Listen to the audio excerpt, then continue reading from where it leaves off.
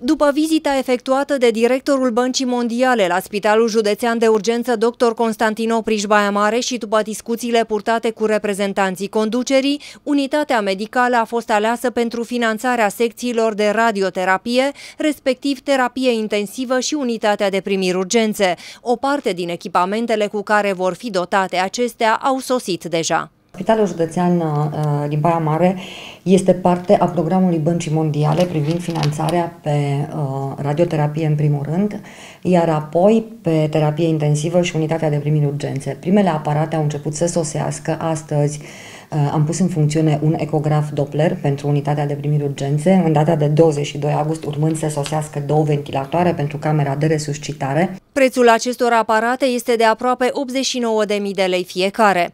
Managerul Spitalului Băimărean spune că programul va continua și lunile următoare, când vor sosi noi aparate la terapie intensivă și la unitatea de primiri urgențe. În următoarea lună vor mai avea loc livrări de aparate uh, pentru zona de, de primiri urgențe, iar pentru partea de terapie intensivă vor sosi primele aparate începând cu luna octombrie.